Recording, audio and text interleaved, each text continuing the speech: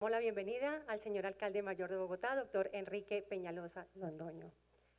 A continuación, invitamos al escenario a la doctora Dalila Astrid Hernández Corso, secretaria jurídica distrital, quien dará apertura formal a la versión número 14 del Seminario Internacional de Gerencia Jurídica Pública. Doctora Hernández, bienvenida y adelante.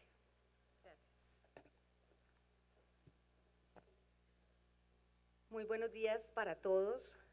Gracias por estar aquí en este seminario que ha sido tradición y tradicional en la Alcaldía Mayor y que desde el año pasado venimos liderando desde la Secretaría Jurídica Distrital.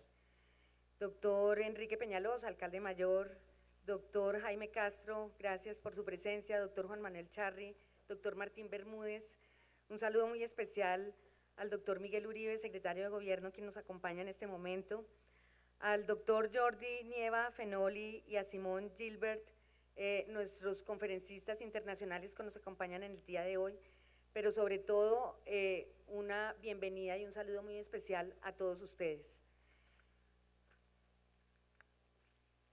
El Seminario Internacional de Gerencia Jurídica es un escenario académico para compartir experiencias nacionales e internacionales exitosas y lecciones aprendidas en temas de relevancia jurídica, por lo cual se convoca a todo el cuerpo de abogados del distrito a participar en estas jornadas. Esta es una manifestación del buen funcionamiento de la administración y el interés por capacitar a todos sus funcionarios para una mejor prestación del servicio público. Es relevante fortalecer las competencias de quienes están vinculados al distrito, toda vez que son las personas más importantes en cada una de las entidades al asesorar y al estar eh, permanentemente en, eh, en la constante estudio y asesoría a todos los directores y gerentes que deben tomar las distintas decisiones y nosotros desde nuestro conocimiento jurídico somos quienes avalamos eh, todas esas decisiones que se toman a lo largo y ancho del distrito. El papel del abogado del distrito frente a las políticas públicas, así como su formación jurídica como elemento garante de eficacia y calidad de la gestión jurídica, en el entendido de prestar un servicio eficiente y prestar los intereses y derechos colectivos e individuales de los ciudadanos, es de suma importancia para la administración distrital.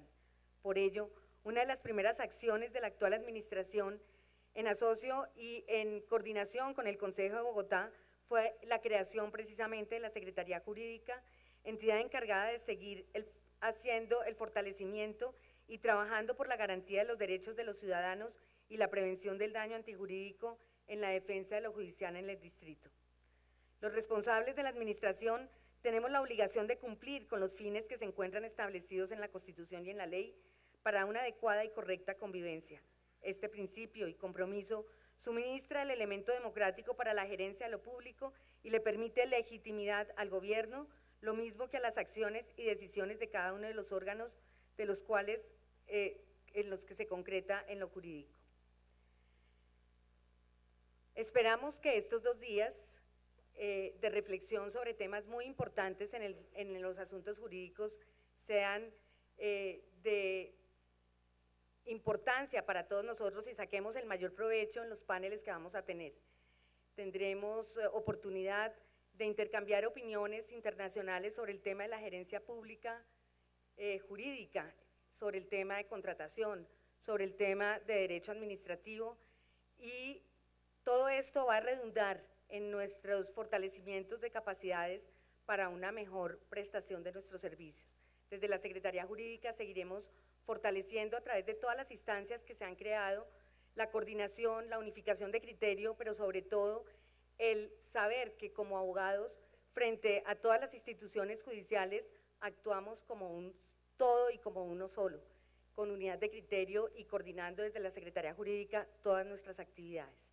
Espero que sea del agrado de todos ustedes estos dos días y esperamos la mayor participación. Mil gracias a todos los invitados por estar aquí y especialmente pues a quienes nos van a acompañar en todos los paneles en estos dos días. Muchas gracias.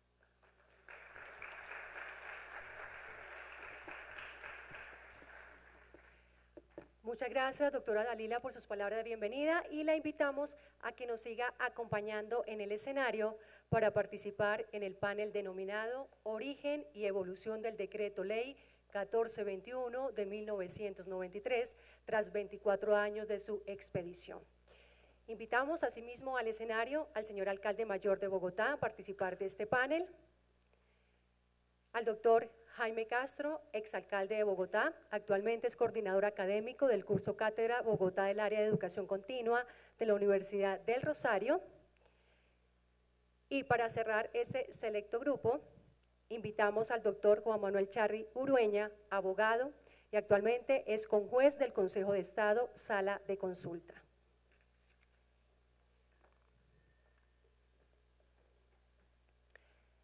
Le doy la palabra entonces a la doctora Dalila Astrid Hernández Corso.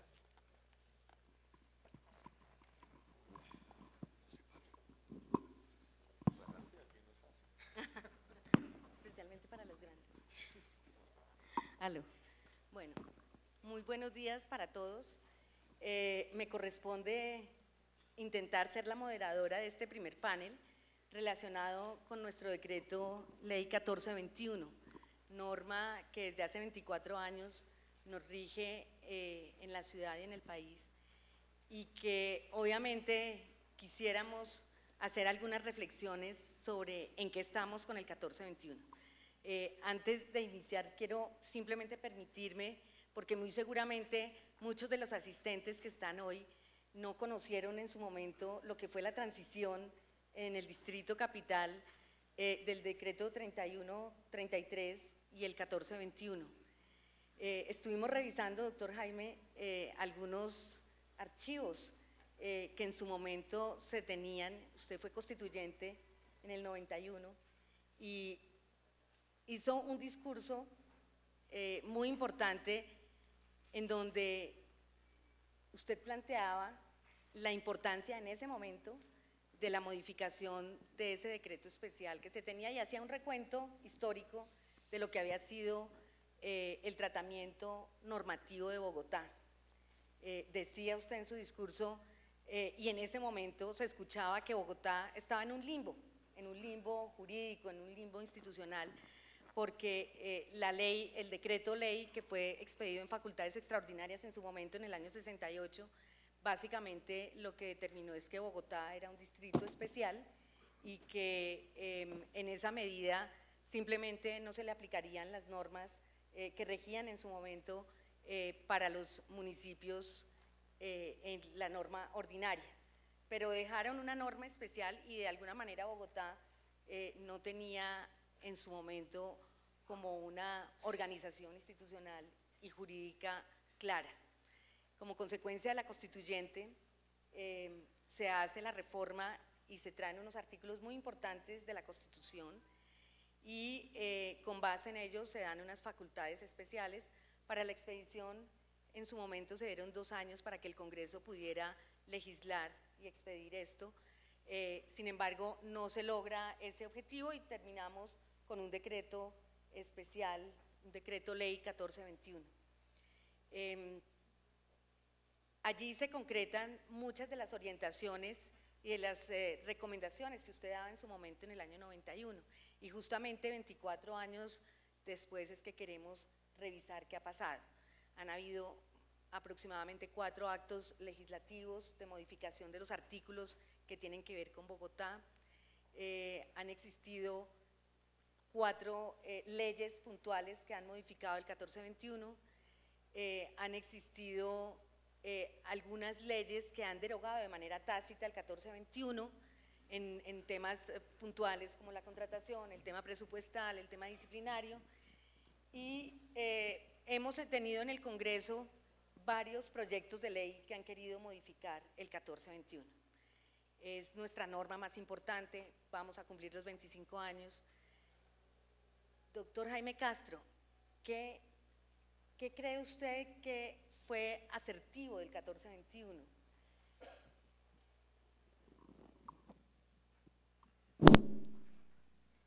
Usted ha hecho un recuento histórico del tratamiento que ha recibido Bogotá como capital de la República por parte del Congreso, actuando bien como constituyente o como legislador. Lo que debe decirse es que el Congreso de la República siempre mostró una gran pereza para ocuparse de Bogotá. No lo hacía ni como constituyente ni como legislador. En el año 45 hubo un gran debate que adelantó el entonces ministro del Interior, nada menos que el doctor Alberto Lleras Camargo, con los senadores de Cundinamarca, que eran unos senadores bien importantes, claro que no tanto como los actuales, pero de todas maneras eran unos senadores que contaban mucho frente a la opinión pública. Y en el año 45 se dijo, Bogotá es distrito especial y tendrá un régimen político y administrativo distinto del régimen municipal ordinario, no más.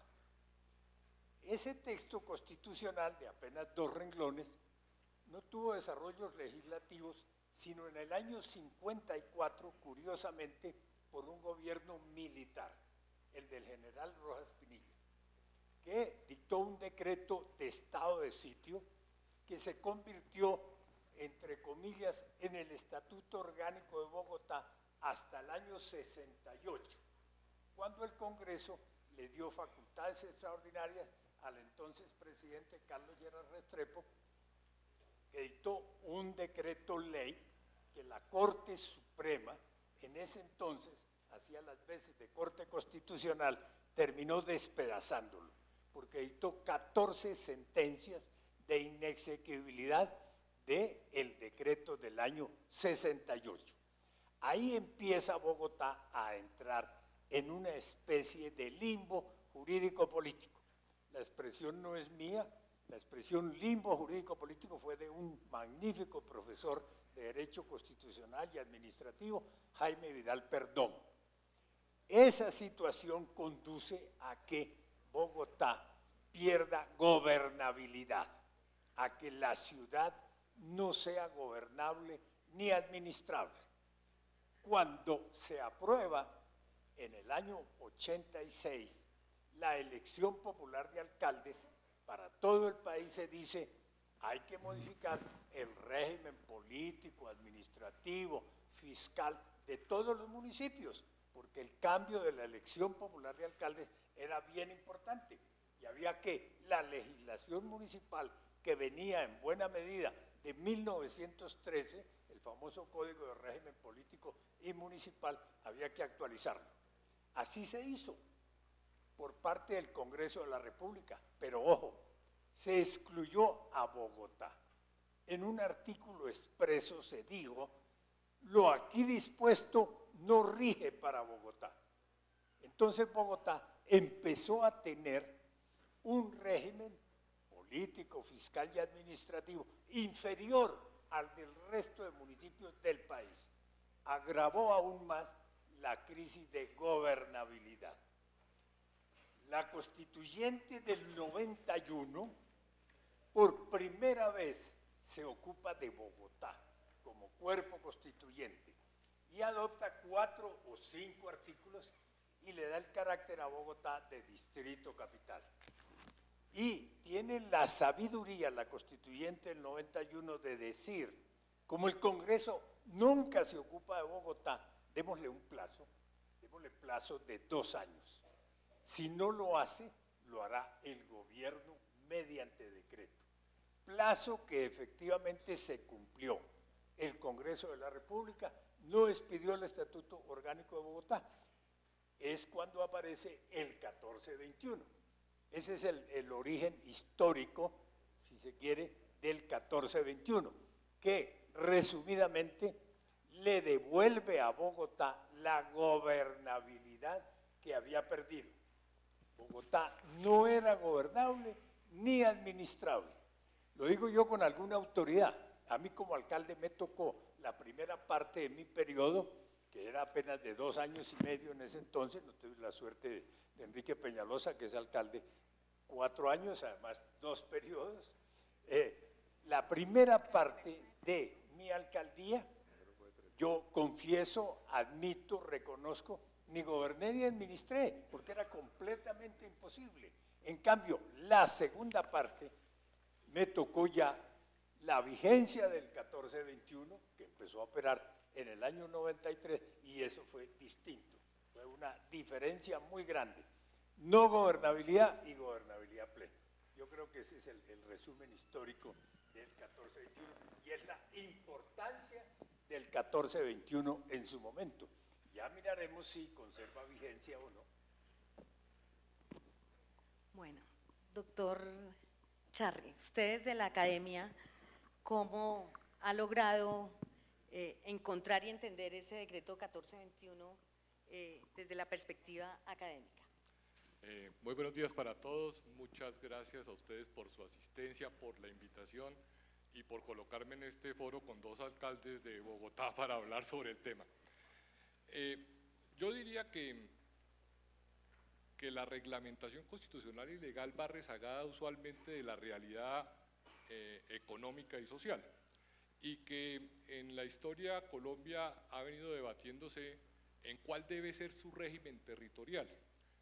Y tal vez por el tamaño del territorio colombiano nos debatimos entre Estado unitario y Estado federal y finalmente hemos tratado de encontrar una fórmula intermedia de autonomías territoriales en donde Bogotá inicialmente fue concebida como un municipio y en la medida en que fue creciendo y constituyéndose en el centro económico y social de la República, pues fue adquiriendo un estatus especial. Estatus especial que ya ha descrito eh, el alcalde Jaime Castro, primero distrito especial, después la constitución del 91 distrito capital, allí dice que tendrá leyes especiales y en lo que no esté regulado por esas leyes especiales se regirá por el régimen municipal.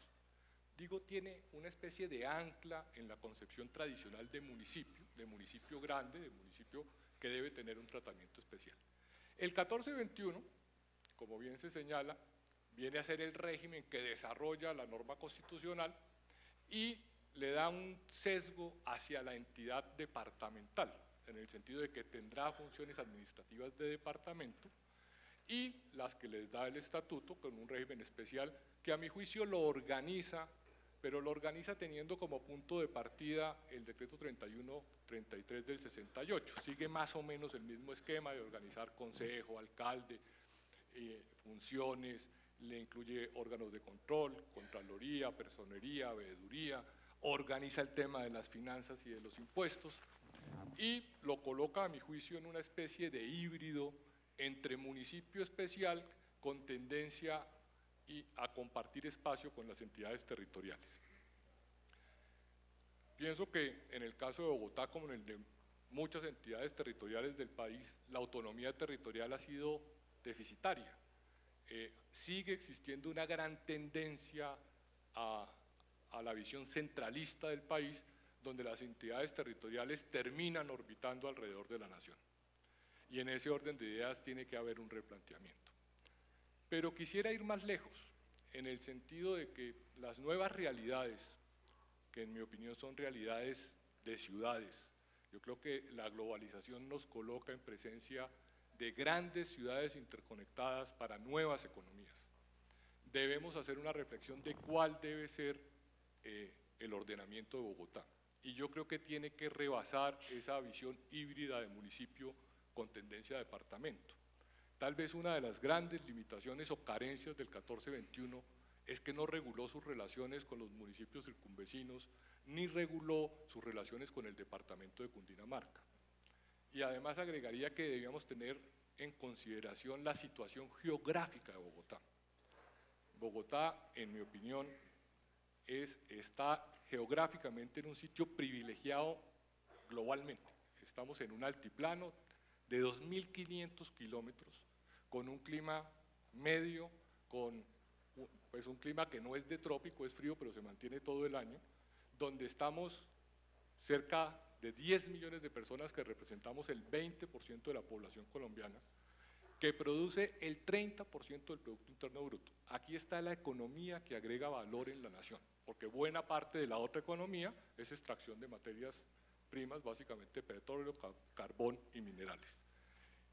Dicho en otras palabras, Bogotá ha sido geográficamente el espacio donde se ha congregado la población, el espacio seguro, el espacio remanso. Bogotá es una ciudad de desplazados históricamente, desplazados de las violencias o de las guerras del siglo XIX, de las violencias del XX, de los estertores de, las violencias recientes, y a Bogotá llega la gente con una esperanza de educación, de progreso económico, que en un alto porcentaje se cumple. Pero Bogotá es un gigante encerrado en las cordilleras colombianas a 700 millones de, a 700 kilómetros de la costa caribe, a 330 del Océano Pacífico, con grandes dificultades para llegar. Y entonces la reflexión mía es invitar a que se piense en una Bogotá que pesa en el entorno nacional la tercera parte, que es la economía de valor, que necesita salidas a los puertos marítimos y conectarse con el comercio internacional y tiene que ser concebida como una entidad territorial diferente a un municipio especial y diferente a los departamentos que fueron concebidos constitucionalmente como coordinadores intermedios entre municipio y nación. Bogotá tiene que estar concebida a nivel nacional como una entidad especial, organizadora de la economía de valor, que necesita salidas al mar y que necesita coordinar su espacio geográfico, que es el altiplano de Bogotá, de 2.500 kilómetros, donde estamos la tercera parte de la población. Pensada, obviamente, y habrá que rescatar conceptos como el de localidad, que es la división territorial al interior del distrito, pero con una localidad que realmente sea democrática, realmente sea representativa y realmente preste servicios localizados de manera eficiente y próxima al ciudadano. Es una invitación a que pensemos más allá de lo que hay, porque siempre llegamos tarde con la, con la reglamentación jurídica a los fenómenos sociales y económicos. Bueno, eh, alcalde, usted ha vivido la ciudad dos veces, eh, pero ya con el 1421. Eh, el doctor Charry hacía alguna, en, su reflexión, eh, pone dos puntos que sé que a usted en su modelo de ciudad le preocupan y le llaman la atención, particularmente lo que tiene que ver con la autonomía de los municipios y con esa relación de Bogotá con la región. ¿Cómo ha vivido usted, alcalde, en estas dos alcaldías, este tema de Bogotá frente al, nivel central, a todo el tema de la autonomía, a todo el tema eh, en general de, lo que eh, el distrito como tal eh, tiene en sus relaciones con los demás municipios Muchas gracias. bueno, yo tal vez hacer unos comentarios de lo que funciona, de lo que no funciona del 1421 y de lo que no tiene que ver con el 1421 porque faltó, más bien lo que decía el doctor Charre, que, que faltó. Creo que hay cosas muy buenas del 1421. Me parece especialmente, creo que el tema de dividir a la ciudad en localidades me parece una buena idea eh, y me parece especialmente brillante la concepción de de elegir los alcaldes mediante esa combinación de la terna, de la terna propuesta por los ediles, escogida por el alcalde, con la posibilidad de que el alcalde pueda, pueda sacar a los alcaldes locales. Ahí a veces con mucha frecuencia hay las propuestas de elegir directamente a los alcaldes locales, me parece que sería la locura absoluta eh, eso sí descuartizaría la ciudad, donde haya una, unos, un alcalde local elegido y si el alcalde mayor no lo quiere, pues no invierte en esa localidad o viceversa. Si el alcalde, si el alcalde mayor no quiere al local, no invierte. Y si el alcalde local no quiere al mayor, no deja que se hagan proyectos ahí. Demás, no, hecho, se volvería un caos absoluto. Entonces me parece que es una buena combinación. Sin embargo, también hay otras cosas muy buenas. A ver, que no hubiera los concejales en las juntas directivas de las empresas de servicios, etcétera. Hay una serie de cosas que quedaron muy bien. Me parece, sin embargo, que, Eh, hay otros temas, digamos, las localidades creo que no tienen ningún sustento técnico, las localidades como hay hoy. La realidad es que la descentralización, si se supone que refleje, si debe reflejar es eh, que los ciudadanos sientan que participan o que los tienen en cuenta, pues obviamente, es decir, la prueba es que los ediles se eligen, tienen una votación ínfima para ser elegido edil. Los, ciudadanos no tienen el 90 por, 95% de los ciudadanos no saben el nombre de un edil. Eh, eh, me parece muy grave que se le haya asignado un sueldo a los ediles, porque entonces eh, en la mayoría de los países avanzados los concejales ni siquiera tienen sueldo. Se reúnen dos veces al año, 15 días en las tardes, porque tienen un trabajo normal y por las tardes discuten el tema y eh, así se podría tener entonces, creo yo, localidades de 100 mil habitantes, tener 80 localidades y que ojalá cada, cada localidad estuviera dividida en medio subzonas de 10 mil habitantes cada una o cosa por el estilo que realmente fueran, se sintieran representados. Sobre la relación con la región, creo que hay muchos eh, problemas. Eh, primero que todo, algo que no tiene que ver con el 1421, pero que, y es que sacaron, haber separado a Bogotá de Cundinamarca me parece un gran error. Eh, funciona mucho mejor la relación entre Medellín y Antioquia que la relación entre Bogotá y Cundinamarca, que se volvió... ¿Por qué se hizo eso? Porque había unos políticos, para no hablar politiqueros, cundinamarqueses, que sabían que jamás irían a ser elegidos al gobernadores con el voto de opinión de Bogotá, entonces tenían que ver cómo logran que los eligieran con sus maquinarias locales y demás. Y entonces ese fue el gran criterio para separar a Bogotá de Cundinamarca, que en mi opinión es un gran error porque en vez de ser un trabajo en armonía, lo que los convierte en unos adversarios más, eh, sin, que es un, enorme error. Eh, y eh, hay una, hay una serie de otras cosas que me parece que sobran. Me parece que la veeduría sobra, tenemos más que suficientes entidades que hacen cosas por el estilo. Obviamente que, que tenemos un veedor muy valioso y personal muy valioso en la veeduría, pero eso es, otro tema aparte. Es como si tuviéramos una entidad de estudios aparte o algo por el estilo, pero eh, la, creo yo que, como se señalaba, creo que lo más brillante que pasó en Bogotá en la historia fue la fusión de los municipios para constituir la Bogotá actual. Eso fue totalmente brillante, porque permite que haya unas instituciones fuertes, no hay, son, digamos, las instituciones de Bogotá son incomparablemente superiores a las de los municipios aledaños, son las entidades de clase mundial, realmente, eh, como no tiene nada que envidiarle a las grandes ciudades del mundo. Eh, tiene además la posibilidad de hacer una planeación en todo sentido medianamente bien hecha y sobre todo permite que se capten recursos en las zonas ricas que no usan prácticamente los servicios públicos y se inviertan en las zonas pobres. Hoy lo que está pasando es gravísimo, es un problema de la, de la mayor gravedad nacional, que se están concentrando ciudadanos de menores recursos, principalmente en Soacha, algo en Mosquera, y otros municipios, pero principalmente en Soacha, entre más pobres hay, más pobres llegan. Y en otros municipios se concentran los ricos, ciudadanos ricos. Y eh, eh, entre más ricos hay, más ricos llegan. No hay nadie estrato 6 a vivir a Soacha y posiblemente nadie estrato 2 va a ir a vivir a Sopó. Eh, por lo menos no en proyectos nuevos. Entonces, este es un problema gigantesco. Más aún, hacia el futuro, yo creo que lo más importante que hay para el futuro del país, para los próximos, nada más importante estamos haciendo hoy, con todo el respeto, los procesos de paz y demás, hacia los, dentro de 100, que tenga impacto en dentro de 100, 200, 300, 500 o 1000 años, que la manera como hacemos las ciudades. Hoy Bogotá, necesita eh, Bogotá Metropolitana hoy tiene 2,6 millones de habitantes, tiene que construir, perdón, tiene 2,6 millones de viviendas, tiene que construir 2,7 millones de viviendas más. Y no hay nada más crítico que estas viviendas, esta ciudad se haga donde debe ser, donde debe ser y como debe ser. Nada más crítico.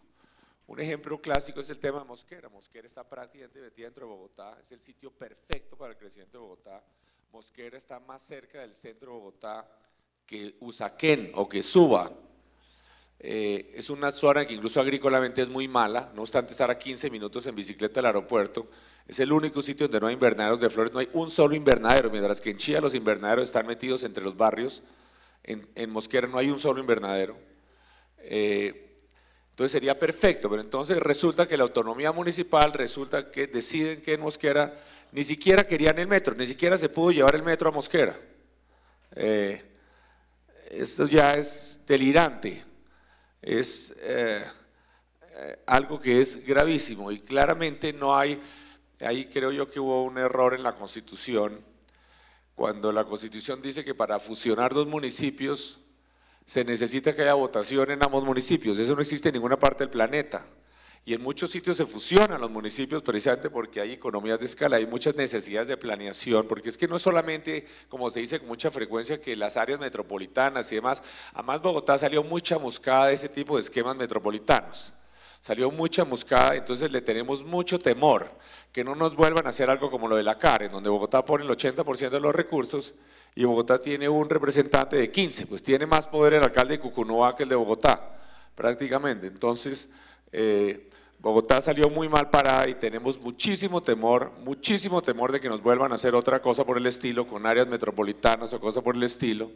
Eh, y eh, entonces, la relación de Bogotá con los, alrededores no ha sido muy afortunada. Bogotá, por ejemplo, está forrada en peajes, eh, en donde el peaje genera recursos solamente para mantener la vía del límite de Bogotá hacia afuera, ni un solo centímetro hacia adentro.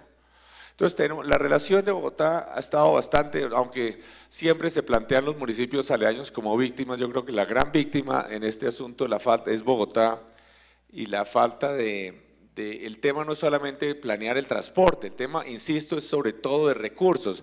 Y nada más absurdo sería pues que le generáramos recursos en Bogotá que lo que pasa con la CAR para ir allá a, unas entidades en donde Bogotá no tiene control eh, o transferirle recursos a los municipios. Entonces lo lógico es que se fusionen los municipios yo he señalado que si les parece muy imperialista y demás, que se fusionen con Bogotá, que se fusionen entre ellos. Pero lo que está pasando hoy no funciona bien. Es tal vez el peor problema que tiene el país en este momento. Es gravísimo. Y hacia el futuro más grave todavía.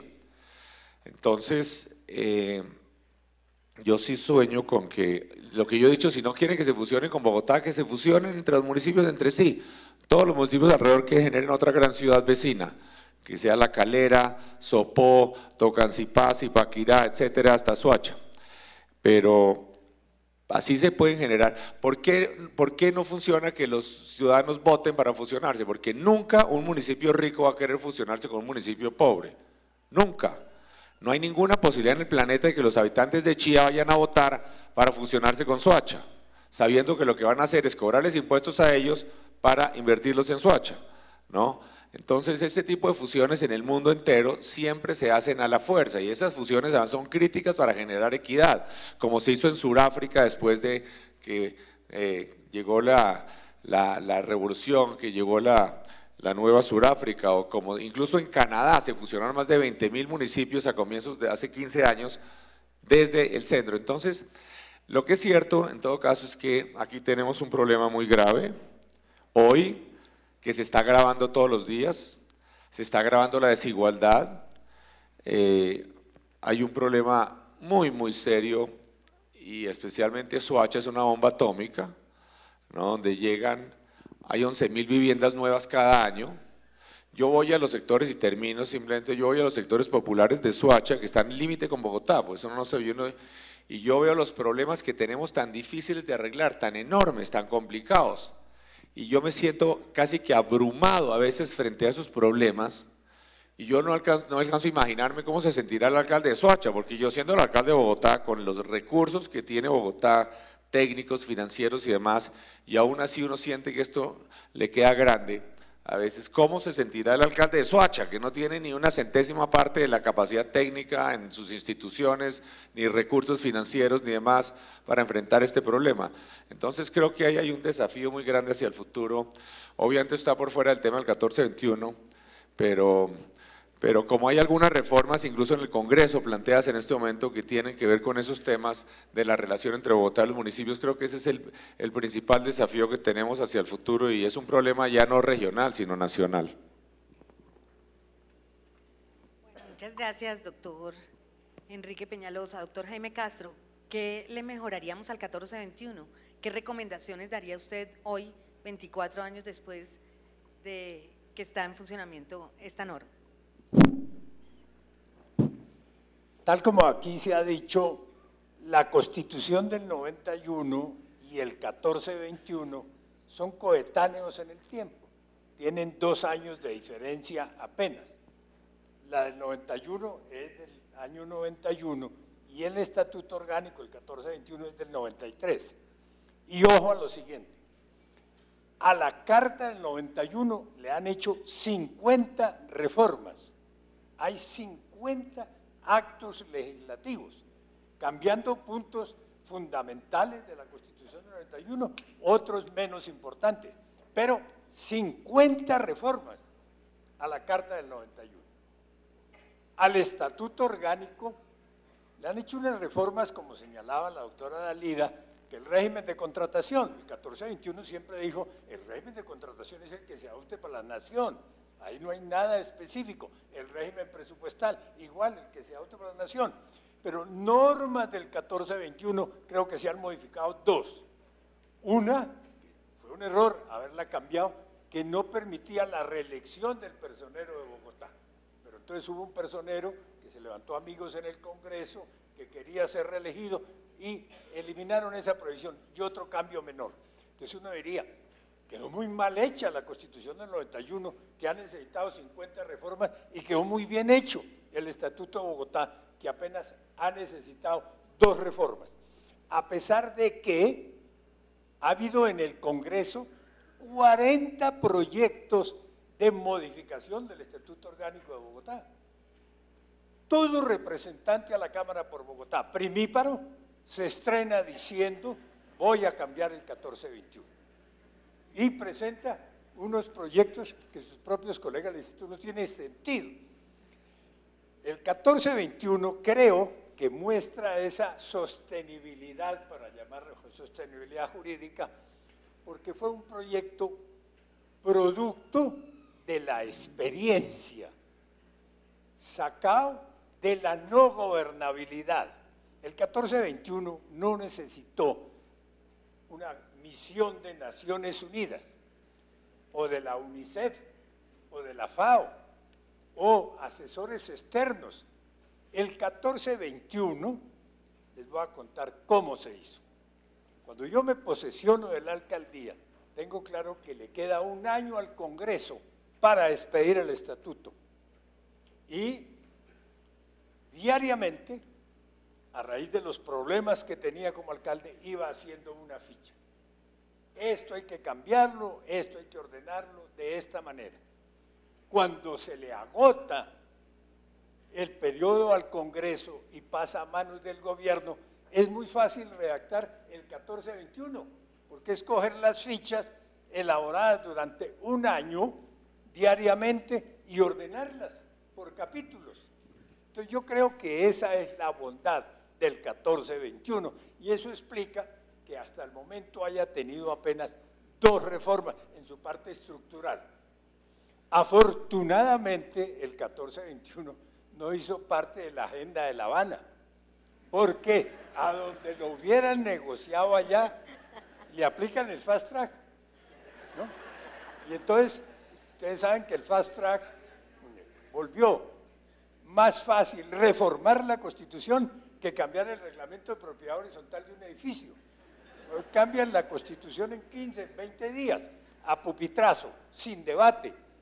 Vayan ustedes a cambiar el reglamento de propiedad horizontal del edificio donde viven y eso les toma año y medio o tres años.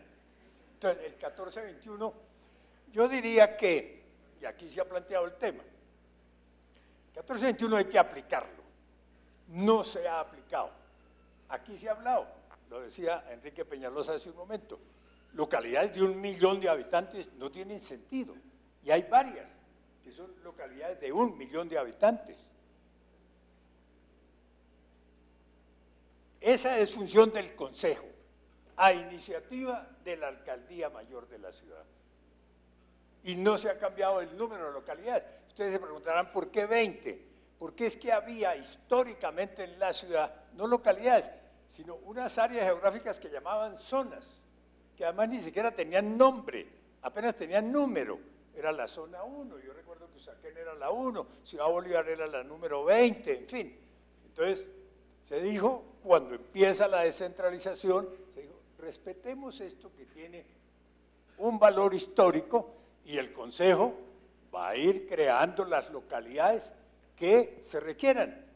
Hay hoy localidades que no tienen ninguna unidad de, tipo social o de carácter económico o histórico. Hay unas que se justifican plenamente. La Candelaria es un hecho histórico, Santa Fe, Chapinero, pero uno coge Fontibón y Fontibón fácilmente da para dos o tres localidades, como en Gativá, como eh, Suba y algunas localidades del sur no se ha aplicado el 1421. El 1421 prevé que el alcalde mayor, los secretarios y los gerentes deleguen funciones en la administración local. No lo han hecho. Crear un aparato administrativo para las localidades que no lo tienen hoy en día, eso es función también de la propia administración. entonces, modificar el 1421 no es un tema político institucional de Bogotá en este momento. El tema es Bogotá, ciudad-región. Y ustedes se, preguntarán por qué la Carta del 91 no lo hizo. Por dos razones, básicamente. La primera, en el año 91, la dimensión regional de Bogotá no tenía las dimensiones que tiene hoy en día. Punto uno. Y punto dos, el tema de todas maneras aparecía, pero cuando se planteó, el señor alcalde lo acaba de decir, ese ya es un tema nacional. ¿Por qué? Ciudad Región no es exclusivamente Bogotá. Ciudad Región es Medellín, Ciudad Región es Cali, Ciudad Región es Bucaramanga, muchas otras más. Barranquilla es Ciudad Región. Y tienen igualmente el tema de las relaciones de la metrópoli, de la gran ciudad, con los municipios vecinos. Ahora, ese es un fenómeno universal.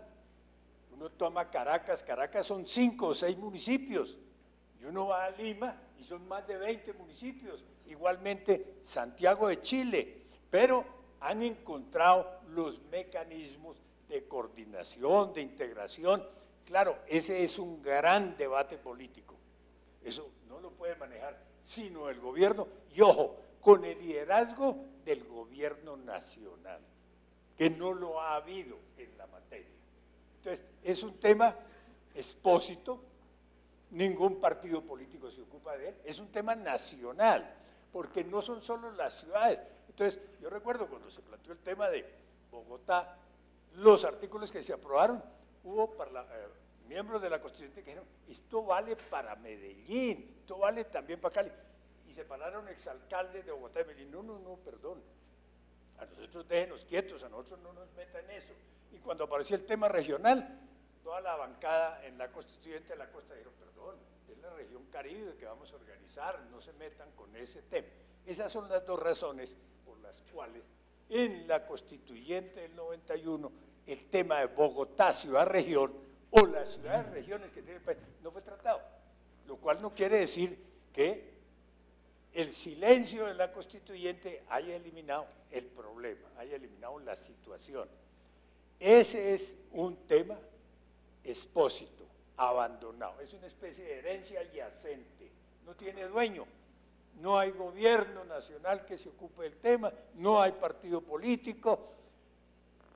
La, la separación de Bogotá y Cundinamarca también fue una separación electoral y le dio a Bogotá le dio a Bogotá 17 representantes a la Cámara, propios, directos.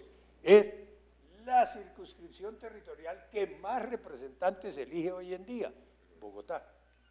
Que no se comporten como una bancada, como se comporta la bancada tioqueña o la bayuna, en fin, eso es otra cosa. Entonces llegan allá y aspiran a ser senadores y entonces no, no trabajan por Bogotá, no piensan en Bogotá, porque creen que pierden votos en el norte de Santander o en Bichada o en Baupés, en fin, esa es otra cosa. Pero Bogotá se volvió circunscripción electoral para Cámara. Cuando Enrique Peñalosa fue representante de la Cámara de Bogotá y Cundinamarca, le tocaba buscar votos en Bogotá y Cundinamarca para poder ser elegido a la Cámara. Hoy no. Eh, un punto, el Consejo de Bogotá. El Consejo de Bogotá no puede seguir siendo un consejo distrital. Hay que tener dos fuentes, mejor. Los concejales deberían ser unos de localidades, de localidades y otros distritales. Eso abarata la política y abaratar la política es quitar una de las causas de la corrupción. Entonces, para ser concejal hay que buscar votos en Ciudad Bolívar y en Suba. En Suba y en, eh, en Usaquén. Eso vuelve muy costosas las campañas, obviamente. Las localidades sumadas de acuerdo con su población, debe haber unos concejales locales de localidad y debe haber unos concejales. Esos son los grandes temas políticos, institucionales de la ciudad. El día que seamos ciudad-región, forzosa, inevitablemente hay que cambiar el 1421. Porque ser ciudad-región significa revisar las atribuciones del distrito, que van a ser mayores, porque la nación tiene que cederle más funciones al distrito.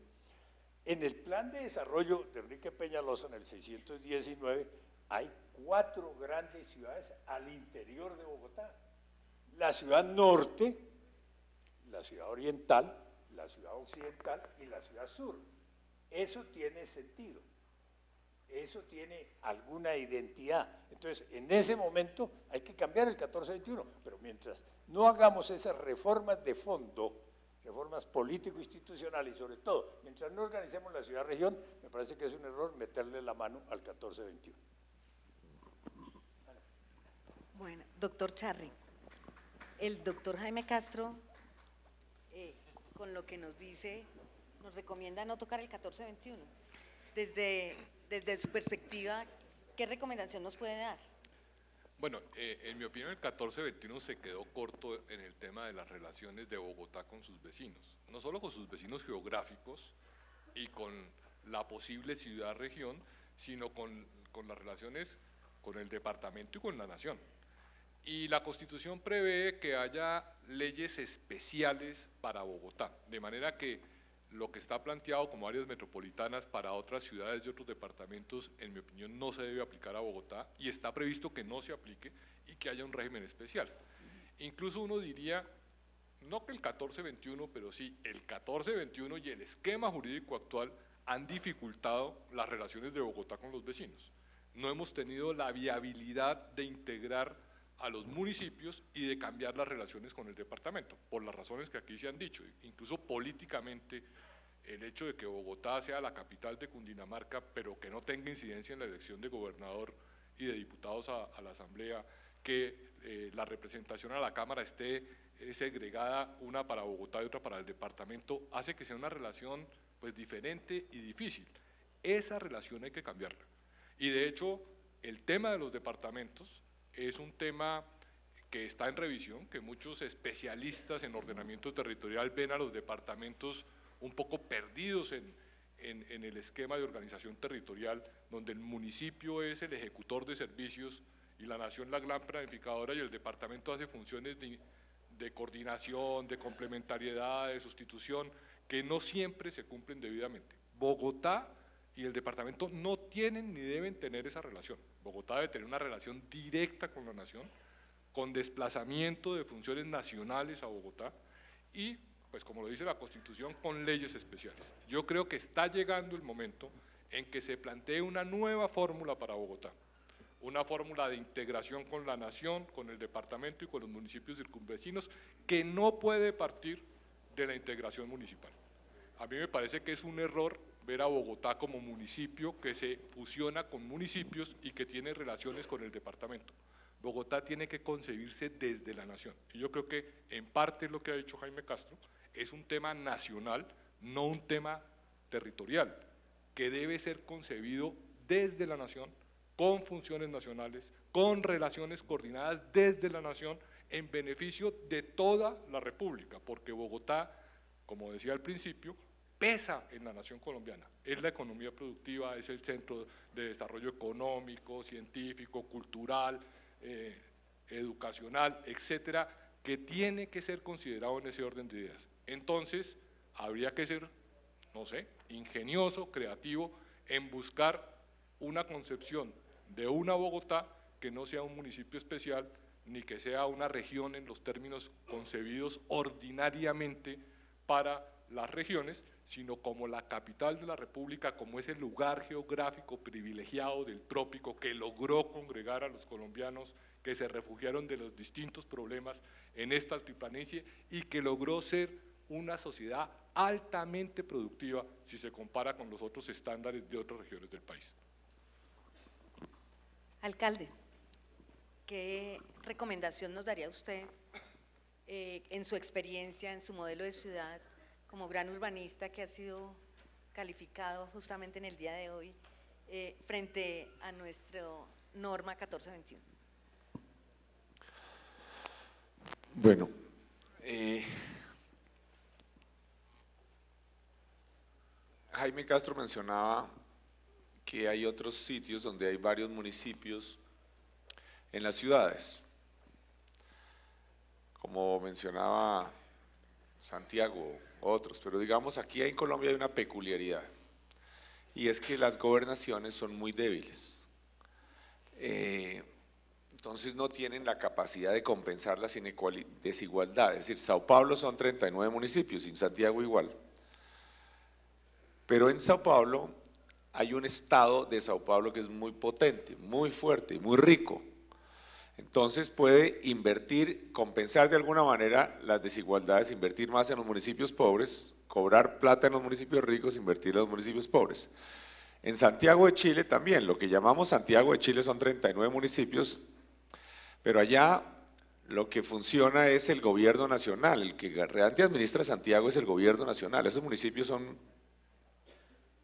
del, alcaldía local, es una cosa que no hace nada, ¿no? la alcaldía de Santiago suena bien, pero el que gobierna en Santiago es el gobierno nacional. Eh, entonces hace lo mismo, puede compensar las desigualdades, captar recursos en zonas ricas e invertirlos en zonas pobres. En Colombia eso no existe. Eh, y hay una sopa de, institucionalidades, mucho de Colombia es el desastre supremo donde se invierte todo el mundo, en todo se mete, en teoría la educación debe ser del gobierno nacional, pero Bogotá paga más de la mitad la educación, la salud lo mismo, hacemos hasta cárceles, la locura como distribuyen plata para la educación superior es absolutamente irracional, la Universidad de Antioquia recibe 300 mil millones de pesos del gobierno nacional y Antioquia pone 30 mil y en Bogotá es exactamente lo opuesto, Bogotá pone 300 mil para la Universidad Distrital y la Nación 30 mil. En fin, Bogotá siempre sale bastante mal librada, hasta en la distribución de los representantes a la Cámara que mencionaba el doctor Jaime, de 18 representantes, por población deberíamos tener 23, pero nuevo aquí, en el, si, hay, si hay algo que une a todos los congresistas, generalmente es cuando está Bogotá de por medio es ver cómo es que favorecen a cualquier otro distinto de Bogotá. Tenemos un problema complicado ahí. Entonces, porque deberíamos tener 23 representantes o 24. Pero entonces, lo que yo sí creo es lo siguiente. Eh, en, Santiago, ¿qué pasa? Sobre el tema de fortalecer las capacidades administrativas de las localidades, de ninguna manera, me parece que es un gran error. Hay dos maneras de, manejar este tema. Lo que el 1421 dejaba, que es que entre otras se ha ido medio ajustando con el tiempo, en mi opinión, felizmente, es que las localidades pueden invertir en lo que quieran, no tienen temas. Pueden invertir desde contratar un grupo de músicos para una fiesta de la localidad hasta comprar un tomógrafo para un hospital o contratar una vía, lo que quieran. Eso, eh, digamos, en Santiago de Chile o en algunas de estas ciudades, eso no existe. Cuando un municipio, una pequeña localidad que tiene necesariamente y ojalá una microburocracia, que debe destinar a otra cosa que era muy bonita del 14, entonces que, que los recursos de las localidades eran para inversión, inversión en el sentido tradicional, porque también legalmente aquí hemos deformado el concepto de qué es lo que significa inversión. Inversión es una cosa que se hace una vez y que no tiene unas obligaciones recurrentes de funcionamiento. Eso es lo que era la filosofía y me parecía perfecto en el 1421, pero entonces, obviamente,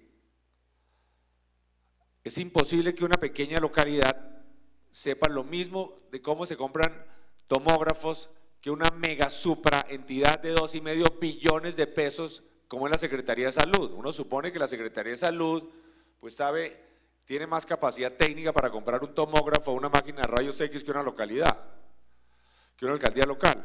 Pero aún cosas que aparentemente son sencillas. Si a mí me ponen a comprar un pasto sintético para una cancha de fútbol, unos columpios, yo tengo ni idea cómo serán, cuáles son los mejores pastos sintéticos o los columpios. Entonces hay una entidad altamente especializada en el distrito que se llama Recreación y Deporte, que es la que sabe cómo comprar eso y no podemos crear una duplicidad de una otra, otra entidad con la misma capacidad técnica en la localidad que recreación y deporte, o cómo contratar una vía, o cómo contratar. Entonces, precisamente yo creo que aquí hay una opción. Si las localidades, si queremos que las localidades contraten cosas, ¿no? Contraten cosas directamente, que se encarguen de cosas contratando, haciendo el gasto directamente, tenemos que limitarles a un mínimo, dos o tres o cuatro cosas, no más solamente tres o cuatro cosas. Y entonces se especializan en eso y tienen un personal especializado en hacer eso. Y además existe la posibilidad de controlarlos, que es comparando lo que hace una localidad con la otra. Porque cómo es que aquí le cuesta recoger la basura, por ejemplo, como en Santiago, de hecho creo que está descentralizada la recolección de basuras. ¿Cómo es que a una localidad le cuesta la mitad que a la vecina?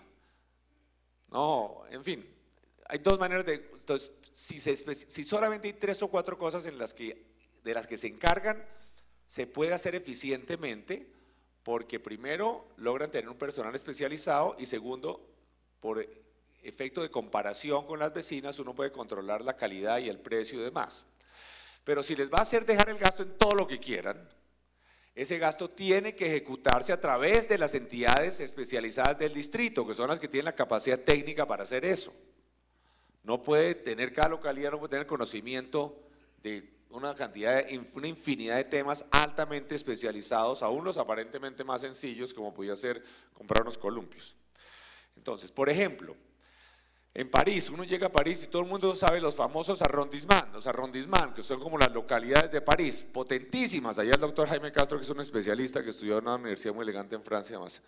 Eh, los arrondissements de Francia no tienen un solo peso de presupuesto, cero, y son potentísimos, están en todos los planos y en todos los mapas.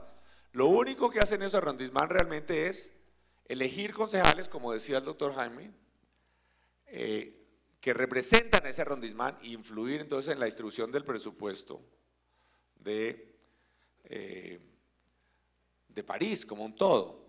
Entonces, en ese sentido sí creo que estoy de acuerdo también, en ese sentido también estoy de acuerdo con, con Jaime y es que hay que tener, aquí claramente hay una ciudad gigantesca que no tiene una representatividad adecuada, nadie sabe quién la representa, los elegidos no saben a quién representan, entre otras, ese esquema de las listas, de elegir por lista de 18, una lista de 18 representantes, una lista de 45 concejales, eso que yo sepa no existe en el mundo sino en Colombia.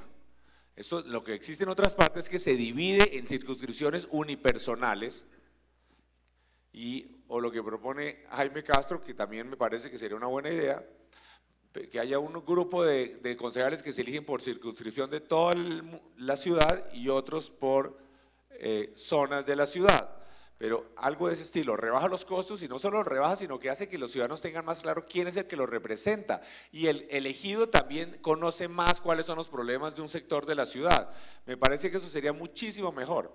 Y vuelvo a repetir un poco mi propuesta de las localidades. Yo estoy de acuerdo que el Consejo en teoría puede crear 30 o 40 localidades más. es decir, una ciudad de 100 mil habitantes en Europa es enorme. Una ciudad de 100 mil habitantes en España o en Alemania, una ciudad de 100 mil habitantes en Alemania es gigantesca.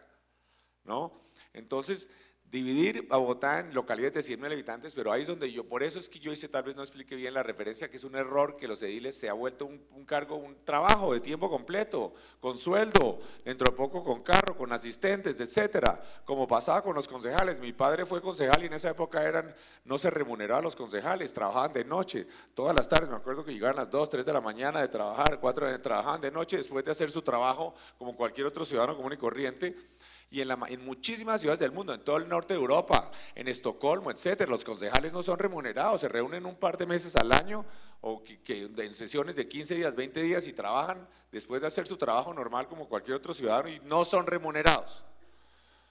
Eh, así, si los ediles no fueran remunerados, si fueran realmente un trabajo más cívico, pues se podría tener 80 localidades y creo que eso sería lo deseable, tener 80 localidades y que cada localidad elija 10 ediles, ojalá cada edil representando un pequeño sector para que los ciudadanos de verdad sientan que participan, que conozcan quién los representa y que el elegido sepa a quién representa. Entonces, esos son algunos de los temas y hay otro tema que también yo creo que vale la pena mencionar y quiero decir que no estoy refiriéndome a mí, porque de pronto van a pensar que estoy haciéndome, estoy buscando puesto de todas las ciudades que hay en el mundo, que yo sepa que hay reelección, que hay elección de alcaldes, en todas hay reelección, por lo menos una vez. Aquí nosotros estamos trabajando a toda marcha, a toda marcha. Y digo que no es para mí porque eso ya que lo hagan, obviamente no existe ninguna posibilidad de que suceda en esta ocasión, pero es absurdo, eso es absurdo que no haya una reelección. Aquí los proyectos son enormes, toman mucho tiempo y cada vez ponen más leyes y más trabas y más cosas que hacen entonces, lograr generar los recursos, lograr solamente, por ejemplo, conseguir los recursos para hacer los diseños de una vía grande. Lograr conseguirlos toma un año. Hacer la licitación para los diseños, una licitación que toma seis meses. Los diseños toman otro año. Contratar el proyecto. Yo sí creo que es, eh, pues, tan es lógico que no existe ningún país en el planeta donde haya elección de alcaldes donde no haya reelección. Eso no existe. No digo reelección indefinida como en Europa que hay alcaldes que llevan 40 años de alcaldes, pero sí por lo menos una sola vez. Creo que ese es un gran error institucional. Esos son algunos de los temas que creo que, que se pueden ajustar, pero vuelvo a insistir, el tema más urgente y más dramático y más grave que yo veo que sí me angustia y me trasnocha es el tema de Suache. Yo vuelvo a decir, aquí no estamos hablando de, cositas ahí como áreas metropolitanas y cosas de estilo. No, no, ese no. Esa, lo, lo que hay que hacer realmente es fusionar a los municipios. ¿Por qué le tenemos tanto miedo a eso? Técnicamente, no que es un tema político que le sirva, no, no pensemos como políticos, sino como gerentes, como algo que les sirva realmente, gerencialmente que permita transferir recursos de las zonas ricas a las pobres, que permita hacer una planeación técnica de alto nivel, que permita, nosotros permanentemente subsidiamos a Soacha, subsidiamos a Soacha que entró en una discusión legal bien complicada, ¿no? Yo sospecho que podía alguien demandar eso. No, por ejemplo, Transmilenio subsidia a Soacha, porque los viajes que hace Transmilenio a Soacha son una gran pérdida.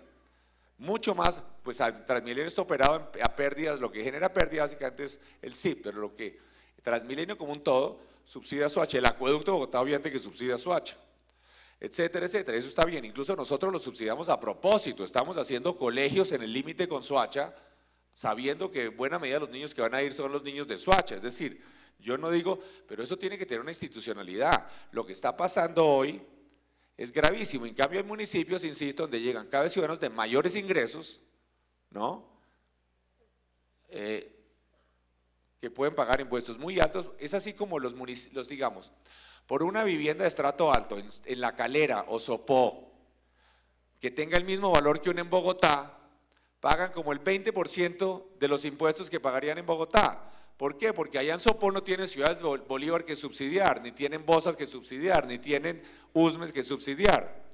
Entonces, Bogotá es una máquina potentísima y que funciona muy bien de redistribución del ingreso. Cobra impuestos en las zonas ricas y los invierte en las zonas pobres.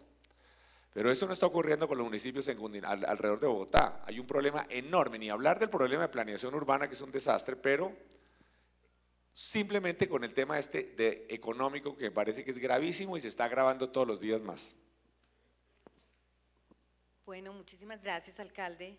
Eh, hay algunas preguntas que nos llegan, pero obviamente eh, tenemos que respetar nuestros tiempos en el seminario con el objeto de poder eh, estar atentos a las demás conferencias y paneles que hay. Yo le agradezco a Miguel Uribe, nuestro secretario de gobierno. El alcalde nos ha puesto una tarea eh, en la medida en que tú tienes las relaciones con el Congreso y es repensar y pensar el 1421 y mirar qué podemos proponer desde la administración distrital para estos ajustes. Hemos pedido opinión a todas las entidades eh, para que nos presenten sus inquietudes y lo que nos ha llegado realmente eh, pues son temas eh, no tan estructurales como, como pensamos, pero obviamente habrá que revisar todos estos aportes que ustedes nos han dado en este panel. Creo que ha sido un panel de lujo. Muchas gracias, doctor Jaime Castro, alcalde, mil gracias por compartir todas sus inquietudes que a diario escuchamos eh, de usted en todas las reuniones que tenemos y obviamente al doctor Charry, que desde la academia nos ha hecho una reflexión muy importante sobre el 1421. Eh, nosotros como administración seguiremos en la tarea de revisar, acoger estos consejos que ustedes nos están dando en el día de hoy para hacer muy seguramente propuestas muy concretas de qué podemos mejorar pero indudablemente no podemos desconocer que el 1421 le ha dado coherencia e institucionalidad a Bogotá y por eso el desarrollo que tenemos en estos 24 años de existencia del 1421 está en la forma como está. Les agradecemos a todos ustedes la atención en este panel y muchísimas gracias por todo lo que nos han recomendado.